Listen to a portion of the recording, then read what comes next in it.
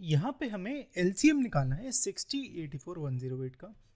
तो एलसीएम के लिए हम ऐसे करते हैं sixty eighty four one zero eight और फिर यहाँ पे मैं इसका प्राइम फैक्टराइजेशन करता हूँ।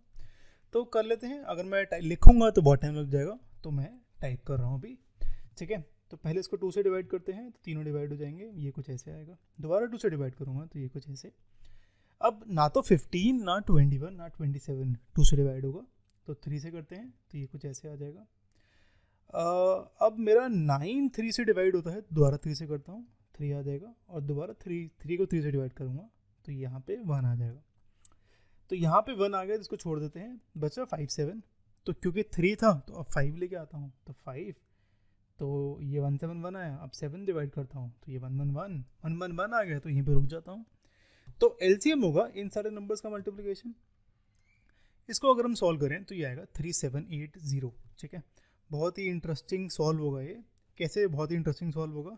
पहले तो फाइव इंटू टू टेन हो जाएगा, ठीक है? तो इसको अलग कर दो।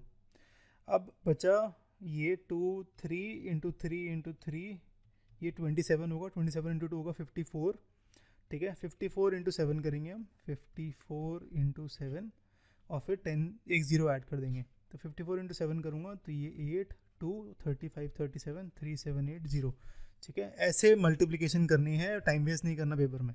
ठीक है? तो करेक्ट आंसर इज़ ए